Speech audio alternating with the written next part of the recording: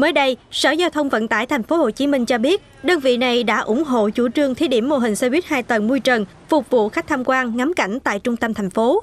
Theo đề xuất của công ty cổ phần du lịch Việt Nam Hà Nội, đơn vị đăng ký tổ chức thí điểm thì các điểm dừng đón trả khách sẽ được bố trí tại các nơi như trước cổng bến Nhà Rồng, đường Tôn Đức Thắng, trước cổng Bảo tàng Chiến dịch Hồ Chí Minh trên đường Lê Duẩn, Bảo tàng chứng tích chiến tranh đường Võ Văn Tần, trên đường Phạm Ngũ Lão, Trường Định và công xã Paris. Về thời gian hoạt động, Sở Giao thông Vận tải đề nghị phương tiện này hoạt động theo khung thời gian từ 9 giờ đến 16 giờ 30 để tránh tình trạng ủng tắc giờ cao điểm. Thành phố Hồ Chí Minh là một trong 7 địa phương được cho phép thí điểm dịch vụ vận chuyển hành khách du lịch bằng ô tô chuyên dụng 2 tầng thoáng nóc. Các tỉnh thành khác là Hà Nội, Quảng Nam, Đà Nẵng, Thừa Thiên Huế, Lâm Đồng và Kiên Giang.